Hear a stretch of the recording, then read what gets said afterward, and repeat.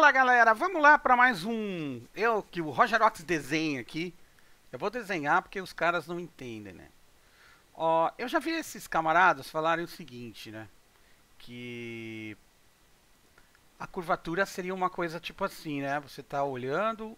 Opa, peraí, vou colocar diferente aqui. Você tá, digamos, aqui. Eles dizem que é o observador tá aqui então teria que ser reto assim, e de repente vem a ladeira depois do horizonte, que, que a gente chamaria do horizonte, que seria aqui. Isso está certo? Isso está correto? Não. Isso está errado. Isso aqui é uma bobagem. Isso aqui é uma falácia. Isso aqui não existe. A gente está numa esfera. A gente tem curvatura em todo esse, em toda essa parte aqui. Tudo. Por exemplo, se eu estou aqui, ó,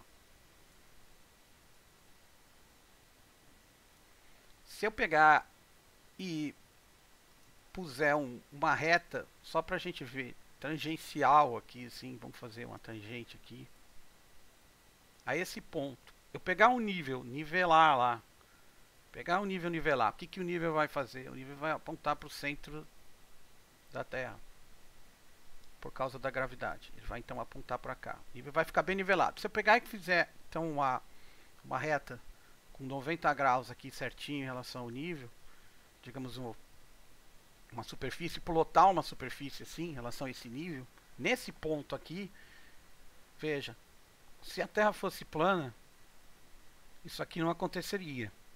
Então você pode, você tem uma diferença. Essa diferença é exatamente por causa da curvatura. Então a curvatura não está só até onde você vê no horizonte. Ela está ela está em todo esse lugar. E você vai estar, tá, se você tiver, vamos dizer que isso aqui seja um oceano, tá? A parte da Terra aqui que está um oceano. O que, que vai acontecer? Isso aqui está tudo fora de escala, lógico, né? Você vai ter uma visualização que vai, vamos dizer, se você for ver daqui, isso aqui está fora de escala porque vai ser bem menor. Então você vai ter o horizonte observável teu vai até aqui.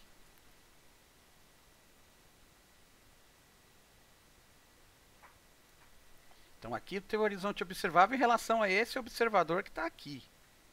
Se você subir, né, se você elevar mais, então vamos ver, vou colocar, vamos dizer assim, vamos, claro isso aqui está fora de escala, estou lembrando, né, essa altitude seria gigantesca, mas só para a gente ver, se eu subo mais, o que vai acontecer com a minha linha do horizonte? Minha linha do horizonte vai passar a ser aqui.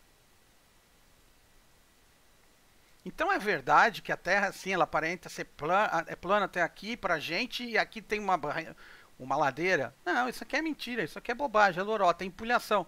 Os caras que falam isso querem te fazer induzir você ao erro. Você sempre vai estar, tá, você está no oceano ali, você vai ter, você, a curvatura vai estar tá ali em você. Só que para você notar, precisa um longo espaço, porque a Terra, é, você vai ter, você tem, é, se você dividir o diâmetro da Terra por 360 graus, você vai ter diâmetro não, desculpa, a circunferência da Terra por 160 graus, você vai ter que cerca de 111 quilômetros. Exatamente. Então, pô, você não vai conseguir enxergar a curvatura pertinho. Um grau é muito, já é pouco. Imagina você enxergar a curvatura querendo em poucos metros assim. Você não vai. Então, por isso que você tem a impressão que é plano. Mas não é. Se você pegar e mudar esse observador de lugar, colocar esse observador aqui, mesma coisa vai acontecer. Só que agora ele vai estar tá aqui, não vai estar tá mais aqui. O que, que eles querem? Querem te induzir a erro de querer comparar uma coisa aqui com uma coisa aqui, sendo que o observador mudou de lugar. Aqui, se você pegar e colocar o, o nível, o que, que vai acontecer com o teu nível? O teu nível vai apontar lá para o centro de massa da Terra. E você vai, se você fizer colocar aquela reta, vamos dizer assim, 90 graus, para você não ver lá, vamos dizer que você faça uma reta assim. Ó.